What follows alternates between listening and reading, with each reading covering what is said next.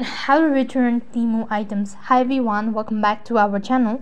In this episode, I'm going to show you how you can return items on Temu. So in order to return Temu items, all you need to do is just make sure to watch this video till the end and follow the instruction as guided.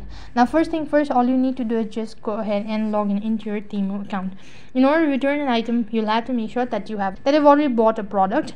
So right on this page, you'll be able to see an interface something like this. So over here, you need to go to the U icon located right at the bottom and then you'll be able to see all sort of information over here so go to your orders and over here you'll be able to see the product that you've ordered and uh, if you like to return a product then just simply go ahead and tap on the return option this also highly depends on the uh, seller so if you don't see an option as return which means that you'll not be able to return the product or whatsoever and just tap on the return button and then give a reason for returning the product basically how you can return items on Temu.